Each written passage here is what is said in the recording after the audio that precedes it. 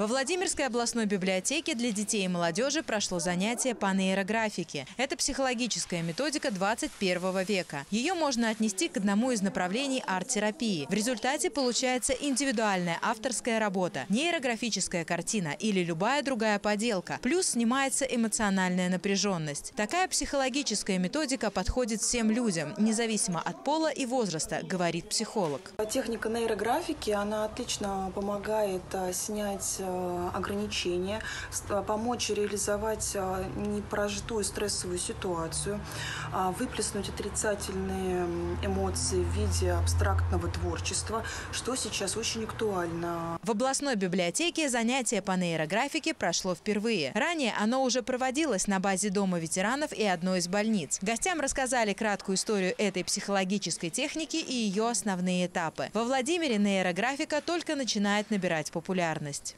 Просто нужно это прорабатывать, распространять, чтобы многие знали, что можно обратиться к психологу, можно а, ну, узнать такую технику. Это, это можно даже дома проделывать, э, рисовать, как бы не обязательно что-то. У нас многие стесняются, если честно, обратиться к психологу, а тут можно как бы узнать про эту методику и заниматься дома вообще не выходя из комфортных условий. Психолог добавляет, занятия с использованием абстрактной живописи не воспринимаются людьми как терапия, а помогают чувствовать себя комфортно рядом со специалистом.